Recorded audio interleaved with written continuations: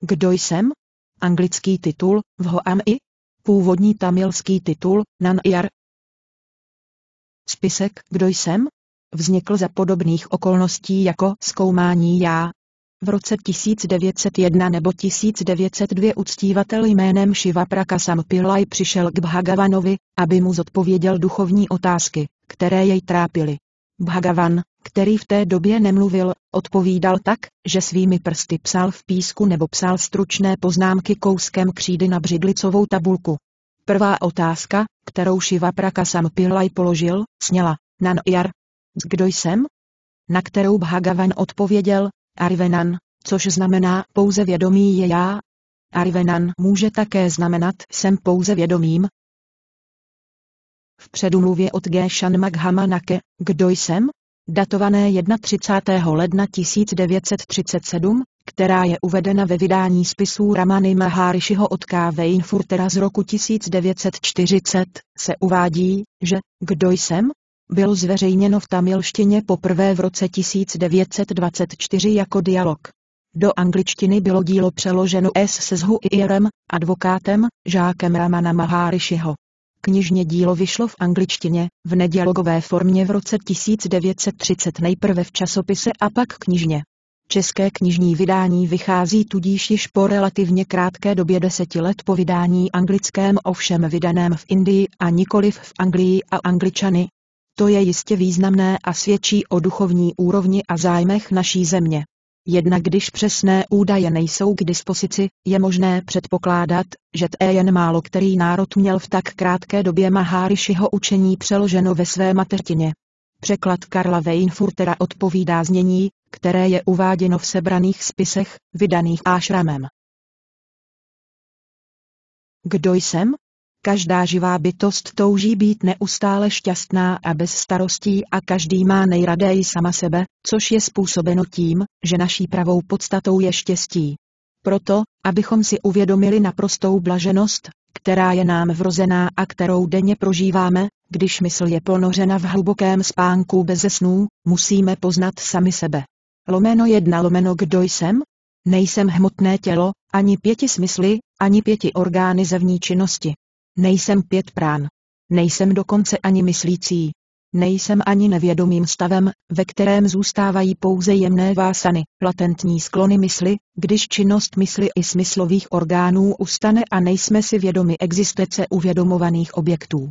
Lomeno dvě lomeno když proto souhrně zamítneme všechny výše uvedené nepodstatné části naší bytosti a jejich činnosti pomocí jejich vylučování postupem, toto nejsem já, ani toto ne, pak to, co zbyde oddělené od nich, samo sebou existující, toto čisté vědomí jsem já. Toto vědomí je ve své podstatě satčit a nada neboli bytí, vědomí a blaženost, štěstí. Lomeno tři lomeno jestliže mysl, která je nástrojem poznání a základem veškeré činnosti, se uklidní, vnímání světa jako objektivní reality ustane dokud nezmizí iluse vnímaného hada v provaze, který je podkladem, na kterém vzniká, nevidíme provaz jako takový. Stejně tak, dokud neustane ilusomí podstata vnímání světa jako objektivní reality, nedosáhneme poznání pravé podstaty já, na jehož základě se iluse světa vytváří. Lomeno čtyři lomeno mysl je jedinečná sfla šakti, átman, jejím způsobením se nám objevují myšlenky. Jestliže vyloučíme všechny myšlenky a proskoumáme to, co zbyde po jejich vyloučení, zhledáme, že mysl neexistuje odděleně od myšlení. Proto myšlenky sami tvoří mysl. Lomeno pět lomeno ani zde není nic takového jako hmotný svět mimo myšlení a nezávislý na něm. V hlubokém spánku neexistuje myšlení ani svět. Ve bdělém stavu a ve spánku se sny jsou přítomny myšlenky i svět tak jako pavouk přede svou pavučinu ze sebe a také ji do sebe souká zpět, tak také stejným způsobem mysl promítá ze sebe sama svět a opět jej také v sobě pohlcuje. Lomeno 6 lomeno svět je vnímán jako zdánlivá objektivní skutečnost, když je mysl obrácena ze sebe ven, čímž ztrácí svou totožnost s já. Když je svět takto vnímán, pravá podstata světa je skryta a obráceně, když je já uvědomováno, svět se přestává jevit jako objektivní skutečnost. Lomeno sedm lomeno neochvějným a neustálým zkoumáním podstaty mysli, mysl je přeměněna v to, ke kterému se vztahuje já, a to je ve skutečnosti já. Mysl musí nezbytně být svou existencí závislá na něčem hrubém. Nikdy neexistuje sama o sobě. Mysl jinak nazýváme jemným tělem, egem, dživo nebo duší. Lomeno 8 lomeno to, co vyvstává v hmotném těle jako já, je mysl. Jestliže zkoumáme, odkud myšlenka já v těle na prvém místě vzniká, zjistíme, že v srdci hrdajam. To je zdroj a sídlo mysli. Když pouze nepřetrží, tě ve svém nitru opakujeme já, já a mysl je zcela upřena na toto opakování, tato praxe rovněž vede do stejného zdroje. Lomeno 9 lomeno prvá a nejpřednější myšlenka, která vzniká v mysli, je prvotní myšlenka já. Ostatní nesčetné myšlenky vznikají teprve po jejím zrodu. Řečeno jinými slovy, pouze po vzniku prvého osobního zájmena já se objevují v mysli druhá a třetí osobní zájmena ty a on, protože nemohou existovat bez já. Lomeno 10 lomeno jelikož každá myšlenka se může objevit teprve po vzniku myšlenky já a jelikož mysl není nic jiného než souhrn myšlenek, mysl se uklidní pouze pátráním po já. A na to, integrální myšlenka já, která je implicitní v tomto hledání, když zničí všechny ostatní myšlenky, je sama nakonec zničena či strávena, stejně jako zhoří tříska použitá pro zapálení pohřební hranice.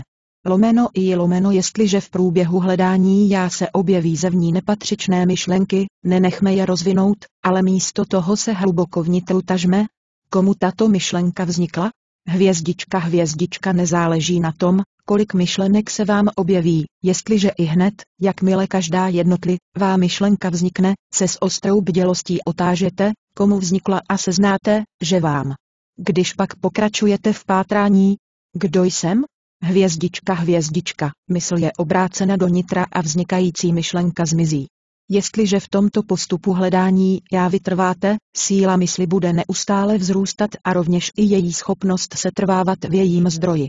Lomeno 12 lomeno zevní hrubé tvary a jména, které vytvářejí svět, vnímáme pouze tehdy, když je jemná mysl obrácena svou činností intelektu a smyslo 60 i ty vpad svých orgánů na venek.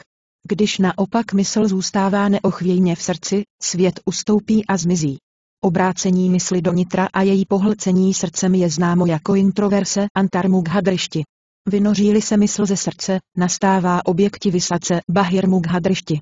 Lomeno 13 lomeno jestliže je tímto způsobem mysl vstřebána srdcem, ego nebo já, které je středem množství myšlenek, nakonec zmizí a zůstane pouze zářící čisté vědomí nebo já, které existovalo ve všech stavech mysli. Tento stav, ve kterém není ani nejmenší stopy po myšlence já, je naší pravou existencí. To se nazývá tichem mouna. Lomeno 14 lomeno tento stav pouhého spočívání v čistém bytí se nazývá moudrostí vhledem, taková existence znamená a zahrnuje úplné rozpuštění mysli v já. Nic jiného než toto, žádné psychické síly, jako např. Čtení myšlenek, telepatie nebo jasnovidectví nemohou být moudrostí. Lomeno 15 lomeno pouze Atman existuje a je skutečný. Trojitá existence světa, individuální duše a Boha je stejnou ilusí jako existence stříbra v perlorodce, je výtvorem představivosti v Atman. Objevují se a mizí současné. Jediné jáství je světem, já i Bohem. Vše, co existuje je pouze projevem nejvyššího lomeno 16 lomeno pro rozpuštění mysli není účinnější a přiměřenější prostředek než hledání já. I když pomocí ostatních prostředků je mysl utišena, její klid je pouze zdánlivý, protože se znovu vynoří. Mysl je například potlačena jámou, zadržením a ovládáním dechu a životní síly. Její uklidnění však trvá pouze tak dlouho, dokud ovládání dechu a životní síty trvá. Jsou-li uvolněny, mysl také oživne a i hned, objektivizovaná, se počne potulovat vlivem svých latentních sklonů. Lomeno 17 lomeno zdroj mysli, dechu a životních sil je stejný. Je to opravdu množství myšlenek, které tvoří mysl a myšlenka já je prvotní myšlenkou a je sama egem. Dech také vzniká ve stejném místě jako ego. Proto, když mysl je utišena, dech a životní síla také utichnou a obráceně, když poslední je utišeno, prvé je také utišeno. Lomeno 18 lomeno dech a životní síly, prány se také popisují jako hrubé projevy mysli. Až do doby smrti mysl podporuje a udržuje tyto síly ve fyzickém těle. Když život vyhasne, mysl je zahalí a odnese pryč. Během spánku však životní síly pokračují ve své činnosti, ačkoliv mysl se neprojevuje. To je v souladu s božským zákonem, aby bylo tělo ochráněno a nevznikaly pochybnosti, zda spící tělo je živé či nikoliv. Bez tohoto opatření přírody by často spící tělo bylo zaživa spáleno. Život projevující se dýcháním mysl v těle ponechává jako hlídače. Avšak ve bdělém stavu a v samáty, když je mysl v klidu, se uklidní i dech. Protože mysl podporuje dech a ovládá jej spolu se životními silami, z tohoto důvodu ovládání dechu je pouhou pomůckou pro potlačení mysli, avšak nelze tak dosáhnout jejího úplného vyhasnutí. Podobně jako práná jáma, meditace na tvary, zbožné zpěvy, evokace a dětní předpisy jsou také pouze prostředky k ovládnutí mysli. Meditací nebo vyzýváním Boha se mysl soustředuje. Tak jako věčně neklidný pohyb sloního chobotu ustane, když slonovi dáme podržet železný řetěz, tak také věčně neklidná mysl, která je vycvičena meditacemi na tvary a vzýváním jmen, je na ně pevně soustředěna lomeno 19 lomeno když je mysl rozdělena a rozptýlena do nesčetných rozličných myšlenek, každá jednotlivá myšlenka se stává nesmírně slabou a neúčinnou. Naopak, když tyto myšlenky stále více a více mizí, až jsou nakonec zničeny, mysl se stává soustředěnou, čímž získává sílu a odolnost a snadno dosahuje dokonalosti v dotazovací metodě hledání já lomeno 20 lomeno jíst pouze satvickou potravu v přiměřeném množství je nejlepším pravidlem chování a přispívání nejvíce k vývoji satvických vlastností mysli, které opět obratem nám pomáhají v praxi átma vyčáry neboli hledání já. Lomeno 21 lomeno nesčetné v ieš a a, vásany, což jsou jemné sklony mysli vztahující se k předmětům smyslových potěšení, přicházejí v rychlém sledu jedna za druhou jako vlny na moři a čeří mysl. Nicméně oni však také zmizí a jsou zničeny s pokrokem v praxi átma DHJ ány neboli meditací na já. Aniž bychom poskytli místo pochybnostem, zda je možné existovat jako pravé já, zda všechny vásany mohou být zničeny, máme pevně a bez ustání meditovat na já. Lomeno 22 lomeno ať jsme jakkoliv hříšní, Přestaňme bezútěšně bědovat nad svými chříchy a nad tím, jak můžeme dosáhnout spásy, odhoďme dokonce myšlenku, že jsme chříšní, a budeme-li s nadšením meditovat na já, zcela jistě dosáhneme nápravy. Lomeno 23 lomeno dokud jemné sklony vězí v mysli, dotud je nezbytné pátrat po já. Jakmile se objeví myšlenky, musí být jedna po druhé zničeny v samém místě svého zrodu pomocí átma vyčáry. Nepřát si nic, co je mimo naše já, je vajrágya, nelpění neboli nirasa bezžádostivost. Neodchylování se od já je džňána, poznání. Ve skutečnosti však vajrágya a džňána jsou jedno a to samé. Tak jako lovec perel se noří do hlubin moře a nalézá perlorodky na jeho dně, tak každý žák dodržující vajrágyam se může hluboce ponořit do sama sebe a uvědomit si drahocenné átman kdyby opravdou, výhledající pouze pěstoval neustálou a hluboce kontemplativní myšlenku na pravou podstatu já, dokud by si je neuvědomil, to samo o sobě by postačilo. Rozptilující myšlenky jsou jako nepřítel v tvrzi. Tak dlouho, dokud ji ovládají, podnikají z ní výpady. Avšak jakmile pevnost opustí, zničí je mečem a nakonec bude pevnost dobyta. Lomeno 24 lomeno Bůh a Gur nejsou ve skutečnosti rozdílní, jsou totožní. Ten, kdo získal milost Gurua, bude bez pochyb spasen a nebude nikdy opuštěn, právě tak jako tigrova kořist nikdy neunikne z jeho spáru. Avšak je na žákovi, aby neochvějně sledoval stezku, ukázanou mu mistrem. Lomeno 25 lomeno pevné a ukázněné spočívání v Atman, aniž bychom poskytovali nejmenší prostor pro vznik jiných myšlenek než hluboké kontemplativní myšlence na já, je zřeknutí se sama sebe nejvyššímu pánu. Ať na něj naložíme jakékoliv břemeno, on jej ponese. Ve skutečnosti je to neomezená síla Boží, která vše určuje, podporuje a řídí vše, co se děje. Proč se tudíž trápit a mučit myšlenkami, mám učinit to či ono? Místo toho, abychom se pokorně ale šťastně poddali této síle? Jestliže víme, že vlak vše uveze, proč bychom měli držet svá zavazadla nepohodlné na klíně, místo abychom je odložili na místo pro zavazadla a pohodlně seděli? lomeno 26 lomeno blaženost je také já. Blaženost a já nejsou rozdílné a oddělené, ale jedno a to též. A to je pouze skutečné. Ani v jediné věci z nesčetných objektů tohoto světského světa se nenachází něco, co by se mohlo nazvat štěstím. Z pouhé nevědomosti a neznalosti si představujeme, že v nich můžeme získat štěstí. Naopak, když mysl ztratí své spojení s já a přivrátí se ke světu, trpí bolestmi a úzkostí. Pravdou je, že kdykoliv jsou naše přání vyplněna, mysl se navrátí do svého zdroje a zakouší štěstí, které je já vrozené. Obdobně v hlubokém spánku, v duchovním transu samáty, v mdlobách, když dosáhneme žádaného nebo, když něco nežádoucího je zmařeno, mysl je obrácena do nitra a zakouší blaženost átman. Mysl střídavě opouští já a přivrací se k světu a opět se do já navrací, což je její únavný, nepřetržitý a trvalý úděl. Lomeno 27 lomeno ve stínu stromu je příjemně, na slunci jsme spalováni žárem. Zapotíme-li se na slunci, hledáme chladivý stín stromu a je nám pod ním dobře.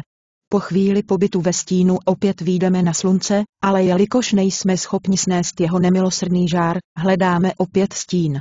Tak se neustále pohybujeme ze stínu na slunce a ze slunce do stínu. Tak jedná nemoudrý člověk, Moudrý nikdy neopouští stín, stejným způsobem mysl osvíceného mudrce, džňániho nikdy neexistuje mimo Brahman, absolutno. Mysl neosvíceného člověka však vstupuje do světa jevů, trpí bolestmi a úzkostí a pak, když se na okamžik přivrátí k Brahman, zakouší štěstí, tak se chová mysl nevědomého člověka. Lomeno 28 lomeno tento svět jevů není ničím jiným než myšlenkou. Když svět zmizí našemu pohledu, to jest, když jsme prosti myšlení, mysl zakouší blaženost já. Opačné, když se svět opět objeví, to jest, když se objeví myšlení, mysl zakouší bolest a úzkost. Bez jakéhokoliv přání, rozhodnutí či úsilí vycházejícího slunce a však pouhou přítomností jeho paprsku čočka vyvolává teplo, lotusy kvetou, voda se vypařuje a lidé vykonávají své rozličné povinnosti. V blízkosti magnetu se jehla pohybuje. Podobně i duše neboli džíva podroben trojí činnosti tvoření, udržování a ničení, které se děje vlivem pouhé jedinečné přítomnosti nejvyššího pána, je činná v souhladu se svou karmou a odpočívá v klidu po své činnosti. Avšak pán sám nečiní a nemá rozhodnutí, žádný čin či událost se nedotýká ani okraje jeho bytí.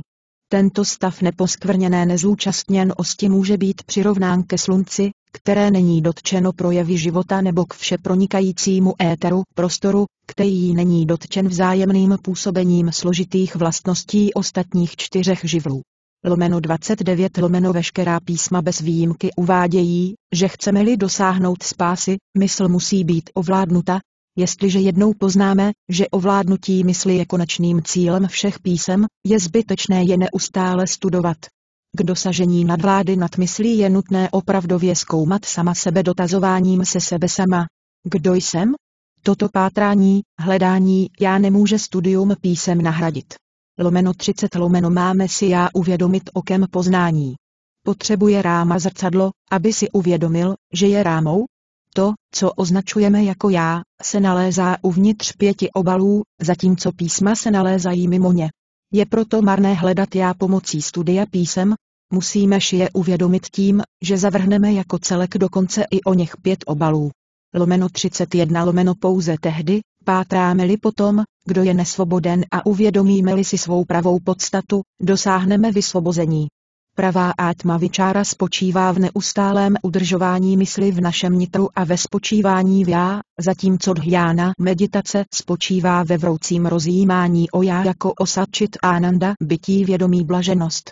V určité době musíme zapomenout vše, co jsme se kdy naučili.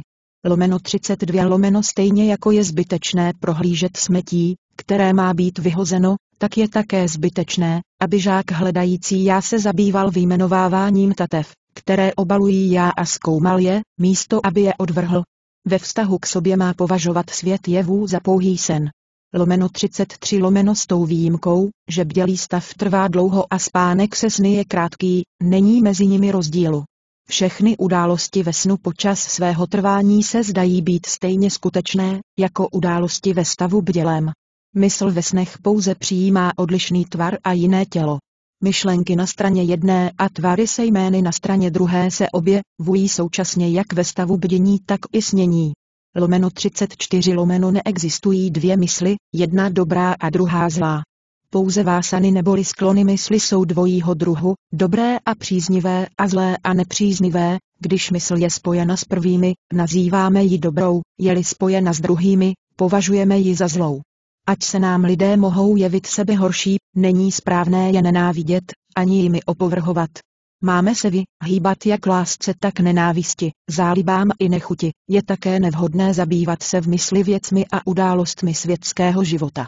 Nemáme zasahovat do záležitostí druhých, jak jen je možné. Cokoliv poskytneme druhým, poskytneme ve skutečnosti sami sobě. Když bychom si uvědomili jenom tuto pravdu, zůstala by někdo, kdo by něco odmítl druhým? Lomeno 35 lomeno jestliže se objeví ego, objeví se i vše ostatní. Jestliže zmizí, vše ostatní zmizí rovněž. S čím větší pokorou si vedeme, tím lépe pro nás. Jestliže udržujeme vládu nad myslí, co na tom záleží, kde se nacházíme? Lomeno 36